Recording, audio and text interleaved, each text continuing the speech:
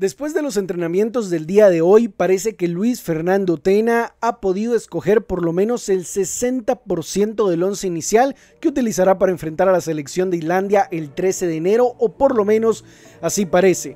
Y es que los nombres podrían ser que se perfilan para ser titulares Diego Santis, Marco Leonel Domínguez, Eric González, Chepito Espinosa, Chava Estrada y Darwin Gregorio Lom Moscoso. Y ustedes me preguntarán, Pizarra, con estos nombres nuevos y con la información que habías dado de que quería ser un equipo más agresivo, ¿hay un cambio de sistema? ¿Hay un cambio táctico? ¿Qué has podido notar, Pizarra? Y la verdad, para responder esa pregunta, yo creo que tenemos que hablar de que Tena desde que ha estado en Guatemala ha usado el famoso 4-2-3-1 y le ha dado resultados porque con eso descendimos a la Liga A, con eso hicimos una muy buena Copa Oro, pero creo que ahora hay más material humano teniendo en cuenta que no están los jugadores de Europa o bien los legionarios. En este caso, la realidad es que si vemos el 11, la selección nacional de Guatemala tiene para atacar con más gente, como en este su canal lo habíamos reportado, y tiene para ser un equipo más agresivo. Primero que nada, Diego Santis y Eric González. Ayer hablábamos de esos laterales que son dos laterales con vocación ofensiva, que les gusta ir adelante y que yo creo que tanto en la presión alta, así como también en las llegadas del equipo guatemalteco, pueden aportar muchísimo para Luis Fernando Tena.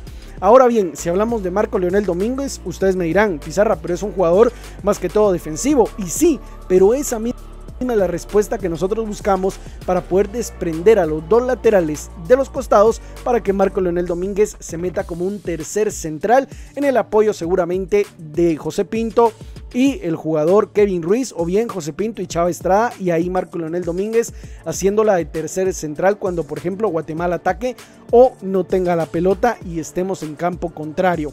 En este caso también hablando de Darwin Gregorio Long Moscoso, que creemos por lo que hemos visto en los entrenamientos que se perfila para ser el titular, pues creo que es porque terminó de una mejor forma o Atena le da más seguridad a Darwin Gregorio Long Moscoso que el jugador José Carlos Martínez. Aunque ahí las cosas bien para mal pueden cambiar porque realmente no es que tengamos a alguien definido como si viniera Rubio Rubín y ahí sí que decimos, ok, es un lateral, es un delantero, perdón, que sin duda alguna nos va a dar demasiado y es el titular. No, en este caso, entre Gregorio, entre José Carlos, pues estamos ahí, ¿no?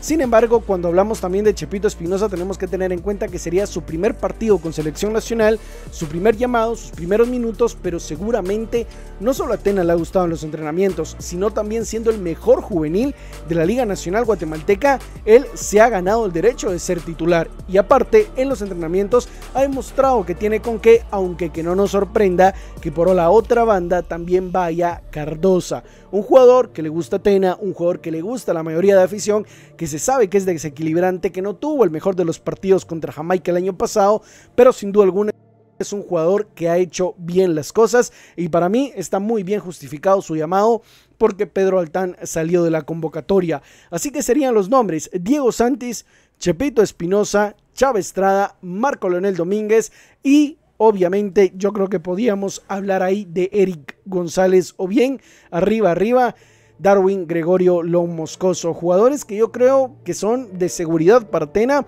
sabiendo que Santi ya jugó con Tena y cuando lo hizo, lo hizo muy bien, los 45 minutos que jugó contra la selección de Jamaica. Ahora Eric González solo ha demostrado en su club, pero yo creo sin duda alguna que tiene con qué hacerlo bien en esta selección nacional.